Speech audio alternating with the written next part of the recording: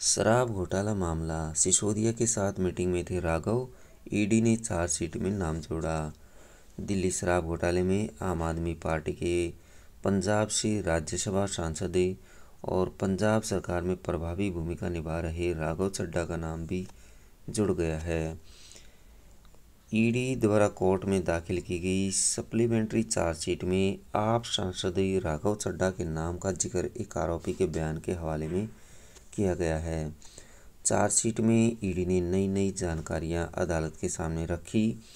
इस पर राघव चड्डा ने प्रेस कॉन्फ्रेंस में कहा, उनको बेवजह बदनाम करने की कोशिश की जा रही है। इस मामले में न तो वह आरोपी है और न ही संदिग्ध सप्लीमेंट्री चार्जशीट के अनुसार सिसोदिया के पीए अरविंद ने ईडी को ये जानकारी भी दी है कि डिप्टी सीएम सिसोदिया के घर पर एक बैठक हुई थी। इसमें राघव चड्डा भी मौजूद थे। चार्जशीट में राघव चड्डा का नाम है, लेकिन आरोपी के तौर पर नहीं है।